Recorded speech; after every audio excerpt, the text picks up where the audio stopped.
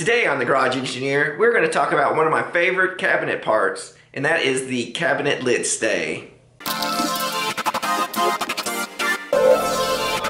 A few videos ago, I did a product demonstration on the Sugatsune cabinet lid lift stay. What makes this product great is that you can incorporate this into your project, and then if you have a lid like in a toy box, you can lift the lid and then it slowly closes itself back down. So it's great for not pinching fingers, but also it keeps the lid from slamming down into the cabinet. This is also good for cabinets that doors lift upward also and it, and it holds it in position. However, in that last video, there was a lot of few comments of questions about using the lift, and that's what we want to address today. This is our gaming cabinet we built a few years ago. Uh, it has push button latches that opens up to store all of our games. But what we're going to be doing is adding the lid stay to our secret compartment. So our game cabinet has a secret compartment. If you lift up this lid, it has a space where you can put uh, smaller items as, and smaller game pieces. This cabinet is constructed of 3 quarter inch Baltic birch and stained to a, a red oak. So what we're going to be doing today is adding the lift stay to this corner right here. So to get started, we're going to add a little bit of blue tape so we can see our pencil lines a little better. One of the issues some people were having with the hinges is that they weren't getting clear instructions that they could read. Um, I this last order I got I got some pretty good instructions, so I will find that and put a link in the description below if you are missing yours. But we are going to go with our 90 degree opening angle here, and we'll just follow these measurements of where we need to place the uh, bracket. So from the back edge of the door, which is the back of the cabinet, we need to measure G, which is slightly under four inches. So that will be right about here. And so what I'll do is I'll take a measure, inside measurement here, and that will get me three and little under three inches. So from the back inside here, I will measure, make a little mark that's right under three inches.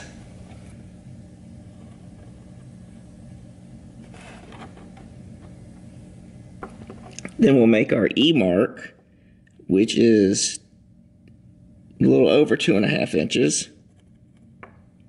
Right here. That's our E mark. So from the top of the cabinet down, we're going to make two measurements. The first one's B, and B is a little over an inch and a quarter. Nine, it's one, one inch and nine thirty seconds. So we'll go just a little over an inch and a quarter. And that's right here. So we missed our tape just a little bit. And that needs to go over your E mark right here. So inch and a quarter right here. And we'll do a crosshair in just a second. And over your G mark, you need your D measurement, which is 2 and 9 30 seconds, which is a little over um, 2 and a quarter inches. So we'll bring that down here. So that's way down here. So now what we'll do is we will find out where they cross. We'll take our measurement here. That's where that crosses there. It crosses right there. And we're just redoing the measurements for E and G. And this down here is measurement D. And so this is where they cross. Where B and E crosses here, and G and D crosses down here. And that's where you're going to making your drill marks.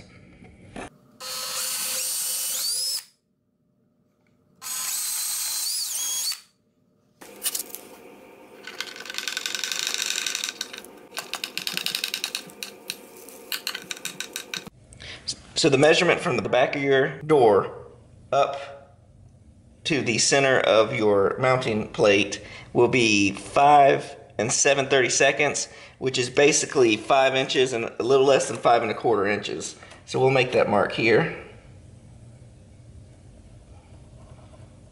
And this is your A mark. Your A.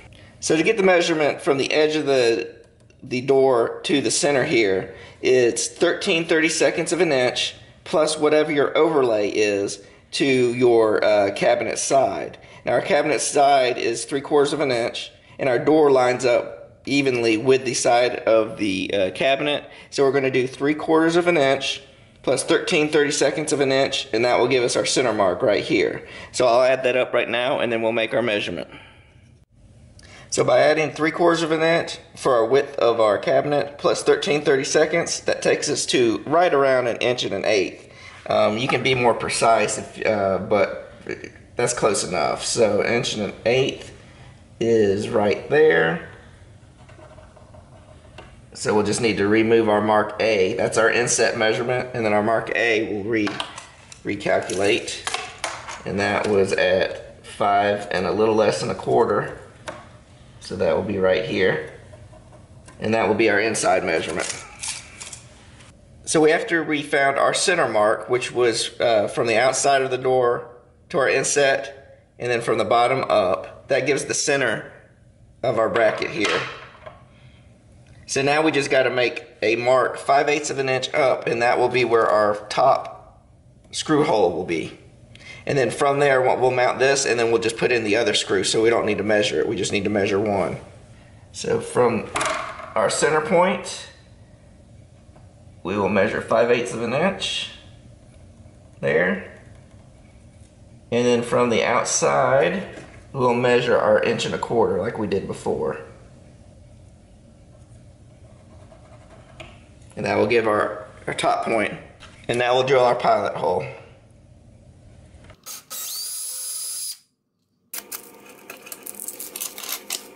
Now the hinge comes with screws made for 3 quarters of an inch of material. Just make sure if you're using half inch plywood that you use shorter screws or this will go all the way through.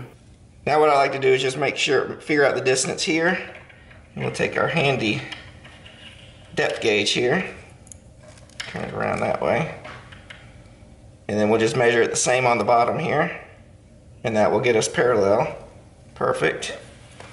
And then we can pre-drill our hole to where it needs to be.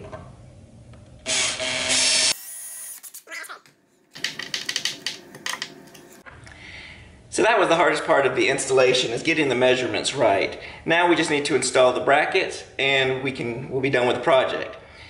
Now one comment I did have is some people were saying that the hinge was uh, slowly opening but then slamming shut. Now I think the reason for that was is this bracket uh, can be turned uh, left or right and I think the top right here was turned around because when I purchased this uh, this is how I got it.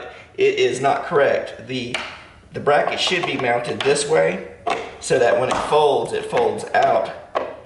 However the the attachment bracket's on the wrong side so what we need to do is flip it over. So to fix it we just take a, some uh, pliers. We grab onto the bracket and we just flip it over to the other side. Now it's spring loaded, so you gotta be real careful not to damage it. There we go, just like that. So now we're it's on the other side.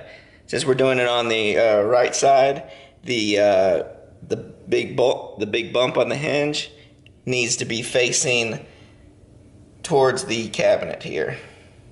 So now we just put the nub into the top bracket, spin it, so it gets into place. Then we take the bottom part of the bracket and attach it to the bottom bracket there. And then we use the set screw that came in the package too. It, it, it's the one without the point on it. And then you screw it into place. So normally if you're building a toy box, the depth of the cabinet is, not a problem. But since this is a, a shallow uh, container that we were just making a uh, small shelf or secret compartment, uh, we're having an issue with the bottom of the hinge hitting the bottom of the uh, the sh shelf area. So I'm gonna have to do a little bit of modification to the cabinet to fix that.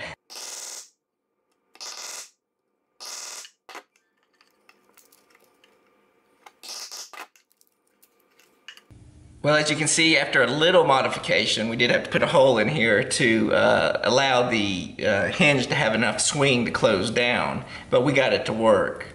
So those of you who are curious, if you want to know what the minimum distance the bottom of the cabinet needs to be to uh, accommodate this hinge, it is five and a half inches. Normally you don't have to deal with this in toy boxes and other larger cabinets, but for special cases like this, uh, you would need that depth. One interesting note about this hinge, it does have one adjustability uh, function on here that if your hinge is not straight up and down, uh, you're not getting your full amount of lid stay. So to fix that, you see there's a set screw right here. And if you just, so I've got an angle in mine right now that goes, bends outward, so I need to reduce the amount of the set screw. So I just turn it counterclockwise and it will reduce how much the hinge now you got your straight bend and that will secure it and, and um, secure the lid up straight up and down. And if you have the other issue where it's bending inward then what you do is you just do counterclockwise and you go the other direction. So right about there we're perfect. All right now that we got everything installed let's give this lid a demonstration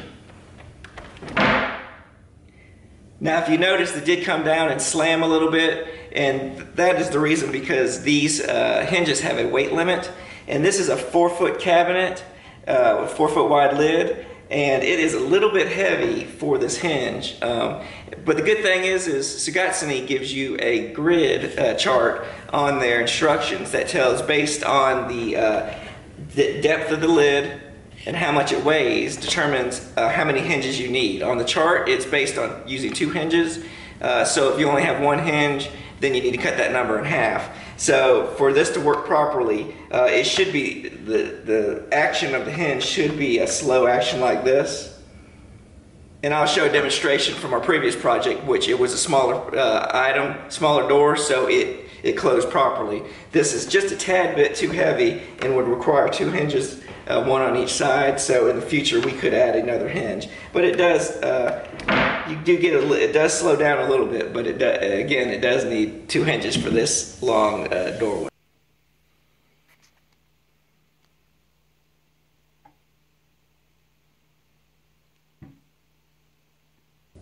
If you're interested in purchasing this hinge for your project, look in the video description below and we'll have a link to the product and all the other products that we use in this video. And we'll also have a link to the other build video that we did earlier that we're uh, reviewing the hinge itself.